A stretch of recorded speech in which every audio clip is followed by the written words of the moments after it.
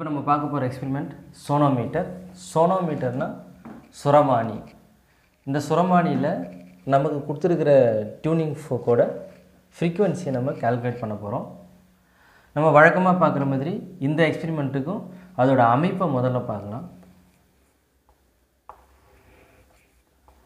நம்ம லேபில் இருக்கிற அப்பாரட்டஸ் நம்ம அப்சர்வேஷனில் போடுற அந்த டயக்ராம் உங்களுக்கு வரைஞ்சி காட்டுறேன்.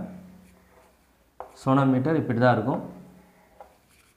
இதில் ஒரு பக்கத்தில் வந்து ஒரு ஆணி வச்சுருப்பாங்க. இன்னொரு பக்கத்தில் ஒரு வீல் ஃபிக்ஸ் பண்ணியிருப்பாங்க நமக்கு ஒரு கம்பி கொடுத்துருப்பாங்க. அந்த கம்பியை இந்த ஆணியில் தான் கட்டணும். அதுக்கப்புறம் ரெண்டு நைஃப் எட்ஜஸ் இருக்கும் இந்த சோனாமீட்டரில். இந்த கம்பி இந்த நைஃப் எட்ஜஸ் மேலே போயிட்டு இந்த வீல் வழியாக கீழே தொங்க விட்டுருப்போம். இங்கே தான் நம்ம வெயிட்டை ஆட் பண்ணுவோம். சரிங்களா? வழக்கமாக நம்ம ஐம்பது நூறு நூற்றி ஐம்பது அந்த மாதிரி கிராம் கணக்கில் தான் நம்ம ஆட் பண்ணுவோம். ஆனால் சோனோமீட்டரில் மட்டும் கிலோகிராமில் தான் நம்ம ஆட் பண்ணுவோம். இனிஷியலாக இங்கே நம்ம ஒன் கிலோகிராம் சேர்த்துக்கணும். அப்போ தான் இந்த கம்பியில் ஒரு டென்ஷன் இருக்கும் இழு விசை இருக்கும். இந்த இழு விசை கரெக்டாக இருந்தால் தான் நம்ம கொடுக்குற ஃப்ரீக்குவென்சியை ஏற்று இந்த ஏற்றுக்கும் இந்த கம்பி வந்து வைப்ரேட் ஆகும். சரிங்களா? இதுதான் இந்த சோனாமீட்டரோட அமைப்பு. அதுக்கப்புறம் இந்த சோனாமீட்டரில் ஒரு ஸ்கேல் ஒன்று ஃபிக்ஸ் பண்ணியிருப்பாங்க. இந்த ஸ்கேலை வச்சு தான் நம்ம இங்கே இந்த எல்லோட வேல்யூவை மெஷர் பண்ணணும். சரிங்களா? இவ்வளோ தான் இந்த சோனாமீட்டரோட அமைப்பு. அதுக்கப்புறம் நமக்கு ஒரு இன்ஸ்ட்ருமெண்ட்டு கொடுத்துருப்பாங்க. அதுக்கு பேர் இசைக்கவை. இந்த எக்ஸ்பெரிமெண்ட்டை இதை வச்சு தான் நம்ம செய்வோம். இந்த இசைக்கவையை நம்ம எப்படி வந்து ப யூஸ் பண்ணுறது அப்படின்னு தெரிஞ்சிடுச்சுன்னா இந்த எக்ஸ்பெரிமெண்ட்டை நம்ம ஈஸியாக செய்யலாம். சரிங்களா? இப்போ இந்த இசைக்கவையை அதாவது டியூனிங் ஃபோக்கை எப்படி யூஸ் பண்ணுறதுன்னு நான் உங்களுக்கு சொல்கிறேன் இது கூடவே இதை டியூன் பண்ணுறதுக்காக ஒரு தக்க தக்கன்னு தான் சொல்லுவோம் அதை. அது கொடுத்துருப்பாங்க. இது ஒரு உட்டன் பாக்ஸில் ஒரு ரப்பரை வந்து ஃபிக்ஸ் பண்ணியிருப்பாங்க. இப்போது இந்த டியூனிங் ஃபோக்கை எப்படி ஹேண்டில் பண்ணணும்னா இங்கே கீழே இருக்கு இல்லைங்களா? இந்த பகுதியில் தான் நம்ம பிடிக்கணும். ரெண்டு விரலை தான் யூஸ் பண்ணணும். டியூனிங் ஃபோக் யூஸ் பண்ணுறப்போ இந்த ரெண்டு விரலை யூஸ் பண்ணி இப்படி தான் பிடிக்கணும். இப்படி பிடிச்சி இந்த ஹேண்ட்ஸ் ஏதாவது ஒன்றுத்தில் தட்டணும். மெதுவாக தட்டினாலே இது நல்லாவே வைப்ரேட் ஆகும். சரிங்களா? மெதுவாக தட்டி இந்த சோனாமீட்டரில் ஏதாவது ஒரு இடத்துல வைக்கணும். சரிங்களா? இப்போ இன்னொரு இன்னொரு தடவை தட்டுறோன்னு வச்சிங்களேன் அப்போது முன்னாடியே நம்ம தட்டினப்போ வந்த வைப்ரேஷனை இந்த ரெண்டு ஹேண்ட்ஸையும் பிடிச்சி அந்த வைப்ரேஷனை ஜீரோ பண்ணணும். ஜீரோ பண்ணிவிட்டு அதுக்கப்புறமா மறுபடியும் தட்டணும். இப்படி தான் இந்த டியூனிங் ஃபோக்கை நம்ம யூஸ் பண்ணணும். சரிங்களா? இப்போ நான் இதில் எப்படி ரீடிங் எடுக்கிறதுன்னு சொல்கிறோம் பாருங்கள் இப்போ நம்ம ரீடிங் எடுக்க போகிறோம் நைஃப் எட்ஜஸை பக்கம் பக்கம் பக்கத்தில் பக்கத்தில் வச்சுக்கோங்க. சரிங்களா? அதுக்கப்புறமா டியூனிங் ஃபோக்கை எடுத்து தட்டுங்க. தட்டி இந்த அடிப்பகுதியை இந்த சோனோமீட்டர் இருக்குங்களா இந்த உடன் பாக்ஸில் வைக்கணும். ஸ்கேல் மேலே கூட வைக்கலாம். சரிங்களா? ஆனால் டைரெக்டாக இந்த நைஃப் எட்ஜஸ் மேலேயோ இந்த கம்பி மேலேயோ வைக்கக்கூடாது. அப்படி வச்சிங்கன்னா நம்ம கொடுக்குற வைப்ரேஷன் கரெக்டாக போகாது. சரிங்களா? இப்போ நம்ம வைக்கிறதுக்கு முன்னாடி நமக்கு ஒரு பேப்பர் ஏரோ கொடுத்துருப்பாங்க. இந்த பேப்பர் ஏரோவை இந்த கம்பி மேலே வச்சுக்கணும் சரிங்களா? இப்போ டியூன் பண்ணி நம்ம சோனாமீட்டர் மேலே இந்த சோனாமீட்டரோட அடிப்பகுதியை வைக்கிறோம். வைக்கும்பொழுதே என்ன பண்ணணும்னா இந்த நைஃப் எட்ஜஸை ஏதாவது ஒன்று தான் நம்ம மூவ் பண்ணணும். உங்களுக்கு left hand side right hand side எது வேணாலும் நீங்கள் யூஸ் பண்ணிக்கலாம். சரிங்களா? இதை வைக்கும்பொழுதே நீ மூவ் பண்ணணும். சில ஸ்டூடெண்ட்ஸ் வந்து தட்டுவாங்க. தட்டி வச்சுட்டு கொஞ்ச நேரம் கழித்து இந்த நைஃப் எட்ஜஸ் தள்ளி வைப்பாங்க. மறுபடியும் தட்டி வைப்பாங்க. இந்த மாதிரி தனித்தனியெல்லாம் செய்யக்கூடாது. நீங்கள் டியூனிங் ஃபோக்கை தட்டி வைக்கும்பொழுதே நைஃப் எட்ஜஸையும் மூவ் பண்ணணும். அப்போ தான் நமக்கு கரெக்டான வைப்ரேஷன் வரும். சரிங்களா? இப்போ ஒரு வாட்டி வச்சாச்சு. நைஃப் எட்ஜஸ் தள்ளிட்டீங்க. வேவ்ஸ் ஃபார்ம் ஆகலை. மறுபடியும் இன்னொரு வாட்டி தட்டுறதுக்கு முன்னாடி இந்த ரெண்டு ஹேண்ட்ஸையும் பிடிச்சி அந்த வைப்ரேஷனை ஜீரோ பண்ணிட்டு அதுக்கப்புறமா தான் நீங்கள் தட்டணும். மெதுவாக தட்டினாலே போதும். நீங்கள் தட்டி வைக்கும்பொழுது ட்ரெயின் போகிற மாதிரி ஒரு சவுண்டு வரும். அந்த மாதிரி சவுண்டு வந்தாலே நல்லா ரெசனேட் ஆகுது. நான் நீங்கள் நல்லா டியூன் பண்ணிருக்கிறீங்க. அப்படின்றது தான் அர்த்தம். சரிங்களா? இப்படியே கொஞ்சம் கொஞ்சமாக நீங்கள் தட்டி வைக்கும்பொழுதே நைஃப் எட்ஜஸை தள்ளினீங்கன்னா ஏதாவது ஒரு டிஸ்டன்ஸில் இந்த பேப்பர் ஏரோ துள்ள ஆரம்பிக்கும். அப்படி துள்ள ஆரம்பிக்கும் பொழுது நீங்கள் தள்ளுறதை நிறுத்திடணும். இந்த நைஃப் எட்ஜஸை மூவ் பண்ணுறதை நிறுத்திடணும். அதுக்கப்புறமா லைட்டாக ஒன் எம்எம் அட்ஜஸ்ட் பண்ணாலே போதும். மறுபடியும் தட்டுங்க. தட்டி வைங்க. வச்சுட்டு ஒன் எம்எம் முன்ன பின்ன தள்ளினீங்கனாலே உங்களுக்கு இந்த பேப்பர் ஏரோ நல்லா துள்ளி கீழே விழுந்துடும்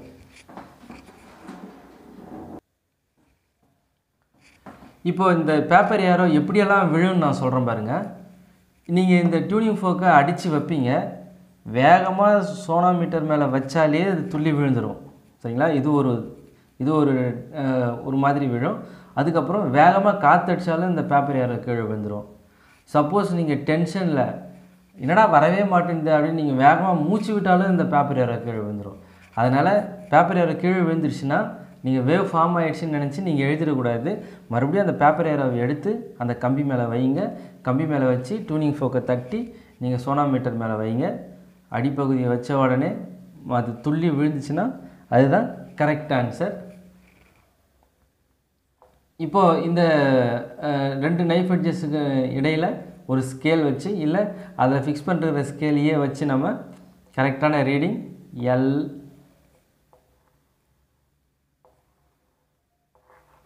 இதை எடுக்கும் இந்த எல் என்னென்னா ஒத்ததிர்வு நீளம். அப்போ ஒத்ததிர்வு அப்படின்னா என்னென்னா நம்ம கொடுக்குற இந்த டியூனிங் ஃபோக்கு ஒரு ஃப்ரீக்குவென்சி இருக்கும். சரிங்களா? இந்த ஃப்ரீக்குவென்சி சூஸ் பண்ணுறப்ப நீங்கள் லெஸ் தென் ஃபைவ் ஹண்ட்ரட் ஹெட்ஸாக இருக்கணும். அதுக்கு கீழே எடுத்தீங்கன்னா தான் நீங்கள் வந்து நல்ல ரிசல்ட்டை இதில் பார்க்க முடியும். இல்லைன்னா சில நேரத்தில் இந்த ஃபைவ் ஹண்ட்ரட் ஃப்ரீக்குவென்சிலாம் வரவே வராது. அதனால் அதுக்கு கீழே இருக்கிற டியூனிங் ஃபோக்காக எடுத்துக்கங்க. இந்த டியூனிங் ஃபோக்கு ஒரு ஃப்ரீக்குவென்சி இருக்கும். நம்ம தட்டி வைக்கும்பொழுது இந்த ஃப்ரீக்குவென்சியை நம்ம இந்த கம்பிக்கு அப்ளை பண்ணுறோன்னு அர்த்தம். இந்த கம்பி என்ன பண்ணுன்னா இந்த ஃப்ரீக்குவன்சியை ஏற்று ரெண்டும் ஒரே மாதிரி ரெசனேட் ஆகும். ஏதாவது ஒரு பாயிண்டில் நம்ம கொடுக்குற வைப்ரேஷன் கம்ப்ளீட்டாக இந்த கம்பிக்கு கடத்தப்படும். அப்போது இந்த கம்பியும் நம்ம கொடுக்குற வைப்ரேஷனும் ஒரே ரேஞ்சில் இருக்கும். அப்படி ஒரே ரேஞ்சில் எப்போ வருதோ அப்போ தான் இந்த ரெண்டு நைஃப் எட்ஜஸுக்குள்ளே ஒரு வேவ் ஃபார்ம் ஆகும். அந்த வேவ் ஃபார்ம் ஆகும்போது தான் மேக்ஸிமம் வைப்ரேஷன் இந்த சென்டரில் இருக்கும். அப்போ தான் இந்த பேப்பர் ஏரோ துள்ளி கீழே விழும். இதுதான் இங்கே இருக்கிற பேசிக் கான்செப்ட் இதை நீங்கள் அண்டர்ஸ்டாண்ட் பண்ணிட்டீங்கன்னா இந்த எக்ஸ்பெரிமெண்ட் நீங்கள் ஈஸியாக செஞ்சிடலாம். சரிங்களா? இப்போ நம்ம இனிஷியலாக ஒன் கிலோகிராம் ஆட் பண்ணி ஒரு வைப்ரேட்டிங் லென்த் எடுத்தாச்சு. சரிங்களா? இது ட்ரையல் ஒன் அதுக்கப்புறம் ட்ரையல் டூ எடுக்கணும். இப்போவே ஏரோ பேப்பர் ஏரோ எடுத்து மேலே வச்சு மறுபடியும் டியூன் பண்ணி வச்சு ட்ரையல் டூ எடுத்துருங்க அதுக்கப்புறம் one point five five kilo add பண்ணோம் ஆட் பண்ணி அதுக்கும் ட்ரையல் ஒன் ட்ரையல் டூ எடுத்து அதோட வைப்ரேட்டிங் லென்த்தை எழுதணும். அதே மாதிரி two two point five three இந்த மாதிரி ஒரு அஞ்சு ஆறு ரீடிங் நீங்கள் ஒரு செட் ஆஃப் ரீடிங் நீங்கள் எடுத்துடணும். சரிங்களா? இதுதான் ஒரு இசைக்கவையின் அதிர்வெண்ணை கண்டுபிடிக்கிறதுக்கான மெத்தட் சரிங்களா? இப் இப்போ சில காலேஜஸ் காலேஜஸில் வந்து ஃப்ரீக்வன்சி ஆஃப் டியூனிங் ஃபோக் தனியாக கொடுத்துருப்பாங்க ஒரு எக்ஸ்பெரிமெண்ட்டு அதுக்கப்புறம் ரிலேட்டிவ் டென்சிட்டின்னு ஒன்று இருக்குது அதை வந்து தனியாக கொடுத்துருப்பாங்க. நாங்கள் எங்கள் லேபில் ரெண்டுத்தையும் ஒன்றா தான் கொடுத்துருக்கோம் ஒரே எக்ஸ்பெரிமெண்ட்டாக கொடுத்துருக்குறோம். அப்போ ஃபஸ்ட்டு ஸ்டூடெண்ட்ஸ் வந்து இதை செய்வாங்க. இதை செஞ்சு எம்பை எல் ஸ்கொயருக்கு ஒரு கிராஃப் வரைவாங்க. சரிங்களா? எம் எல் ஸ்கொயர் இதுக்கு ஒரு கிராஃப் வரைவாங்க. கிராஃப் வரைஞ்சி ஒரு ஸ்லோப் எடுத்துருவாங்க. வரைபட முறையில் ஃப்ரீக்வன்சி ஆஃப் டியூனிங் ஃபோக்கை கண்டுபிடிச்சிடுவாங்க சரிங்களா? அதுக்கப்புறம் ரிலேட்டிவ் டென்சிட்டிக்காக இந்த வெயிட் ஆங்கர் இருக்கு இல்லைங்களா? இதை ரிமூவ் பண்ணிவிட்டு இதில் வந்துட்டு என்ன பண்ணுவாங்கன்னா இது இருக்கட்டும் இதில் என்ன பண்ணுவாங்க அப்படின்னா ஒரு கல்லை கட்டி தொங்க விடுவாங்க. அன்னோன் மாஸ் இது அன்னோன் மாஸ் சரிங்களா?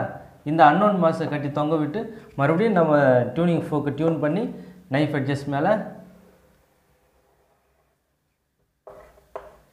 இங்கே சோனோமீட்டர் மேலே வைப்பாங்க.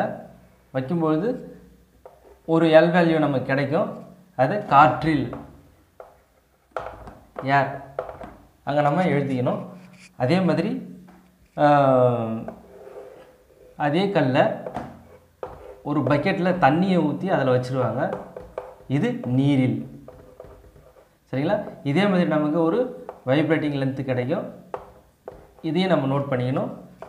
இதே மாதிரி நமக்கு இதே கல்ல திரவத்தில் அப்படின்னு சொல்லி ஒரு பக்கெட்டில் சோப்பு தண்ணியோ வேறு ஏதாவது ஒரு சொல்யூஷனோ தண்ணியில் வேறு ஏதாவது சால்ட்டையோ ஏதோ ஒன்று கலந்து திரவம்னு கொடுப்பாங்க.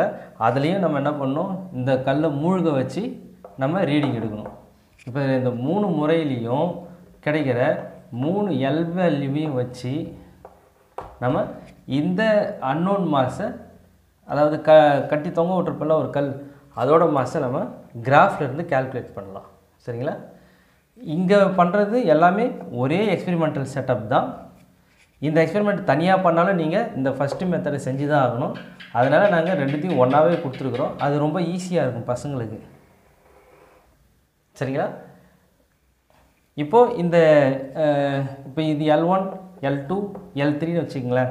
இப்போ இந்த L one value L two value L three value Y ஆக்சிஸில் note பண்ணுறீங்க கிராஃபில் நோட் பண்ணிவிட்டு இந்த ஸ்ட்ரெயிட் லைனுக்கு ஒரு கோடு போடுங்க. அது எங்கே பாயிண்ட்டு கட் பண்ணுதோ அந்த இடத்துல இருந்து எக்ஸ் ஆக்சிஸுக்கு ஒரு கோடு வரைஞ்சிங்கன்னா அது வந்து M one M two M three இது L one L two L three இந்த மூணுத்தையும் வச்சு நம்ம இந்த ரிலேட்டிவ் டென்சிட்டி அதுக்கப்புறம் இந்த அன்னோன் மாஸ் ரெண்டுத்தையுமே கால்குலேட் பண்ணலாம்.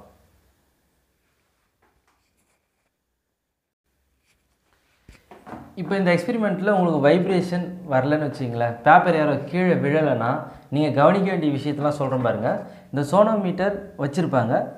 இது ஒரு டேபிள் மேலே தான் வச்சுருப்பாங்க. இந்த டேபிள் மேலே வைக்கும்போது நீங்கள் தொங்க விடுறப்போ அந்த கம்பி வந்து இந்த டேபிளோட டச் ஆகிட்டு இருக்கும் சில நேரத்தில். இந்த இடத்த பாருங்கள் இப்படி ஆகிட்டு இருந்தால் வைப்ரேஷன் லாக் ஆகிடும் போயிட்டு திரும்பி வராது. சரிங்களா?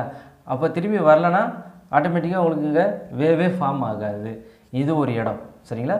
அதுக்கப்புறம் உங்கள் டியூனிங் ஃபோக்கோட ரேஞ்சு பாருங்கள் ஃபைவ் ஹண்ட்ரடு கீழே இருக்கான்னு பாருங்கள் அது கீழே இல்லைனாக்கா நீங்கள் தாராளமாக லேபில் சொல்லி மாற்றிக்கலாம் மாற்றிட்டு அந்த கொஞ்சம் கம்மியாக இருக்கிற டியூனிங் கம்மியாக வேல்யூ இருக்கிற டியூனிங் ஃபோக்கை வாங்கி நீங்கள் யூஸ் பண்ணிக்கலாம். சரிங்களா? அதுக்கப்புறம் இங்கே இந்த கல்லை கட்டி தொங்க விடுற இல்லைங்களா? அப்படி தொங்க விடுறப்போ இந்த கல் வந்துட்டு ஏரில் செய்கிறப்போ எந்த பிரச்சனையும் கிடையாது. ஆனால் இந்த பக்கெட் வைக்கிறப்போ இந்த பாட்டமில் போயிட்டு இந்த கல் உட்காந்துடக்கூடாது சப்போஸ் பாட்டமில் போய் உட்காந்தா இங்கே எப்படி டேபிளில் டச் ஆகுதோ அதே மாதிரி ப்ராப்ளம் தான் இங்கேயும் வரும். அதனால் இதை நீங்கள் செக் பண்ணிக்கணும் உடனே. இங்கே வைப்ரேஷன் வரலனா இன்னொன்று முக்கியமான விஷயம் என்னென்னா இங்கே இனிஷியலாக நீங்கள் வந்து இந்த கம்பியில் ஒரு இழுவிசை இருக்கணுன்றதுக்காக இனிஷியலாக ஒன் கேஜி தான் ஆட் பண்ணணும். சில நேரத்தில் வந்துட்டு பாயிண்ட் ஃபைவ் பாயிண்ட் ஃபைவ் கூட வரலாம். ஆனால் அது கொஞ்சம் லேட் ஆகும். நீங்கள் பார்த்தீங்கன்னாக்கா பாயிண்ட் ஃபைவ் சேர்த்தீங்கன்னா இந்த இடத்துல கம்பி கொஞ்சம் மேல் லூஸாக இருக்கிற மாதிரியே இருக்கும். இந்த டென்ஷன் கம்மியாக இருக்கிற மாதிரியே இருக்கும். சரிங்களா? அதனால் நீங்கள் இனிஷியலாக ஒன் கேஜ் நீங்கள் சேர்த்துக்கினா நல்லது. அதுக்கப்புறம் இந்த நைஃப் எட்ஜஸை பாருங்கள் இந்த நைஃப் எட்ஜஸில் ஒன்று ஹைட்டாகவும் ஒன்று ஹைட் கம்மியாகவும் இருந்தாலும் உங்களுக்கு அந்த வைப்ரேஷன் வராது. இதையும் நீங்கள் செக் பண்ணிக்கணும். சில நேரத்தில் பார்த்தீங்கன்னா இந்த வீலும் இந்த கம்பியும் ஒரே ஹைட்டில் இருக்கும். இன்னொரு நைஃப் எட்ஜ் வந்து ரெண்டுத்துக்கும் நடுவில் கேப்லேயே இருக்கும். அப்போ இந்த இடத்துல டச் ஆகாதப்போ உங்களுக்கு இந்த வேவ் ஃபார்ம் ஆகிறதுக்கு சான்சஸ் கிடையாது. இதெல்லாம் இந்த எக்ஸ்பெரிமெண்ட்டில் இருக்கிற errors instrumental errors manual errors ரெண்டுமே. நீங்கள் இதை பார்த்து கரெக்ட் பண்ணிட்டீங்கன்னா இந்த எக்ஸ்பெரிமெண்ட்டை ரொம்ப ஈஸியாக செஞ்சிடலாம்.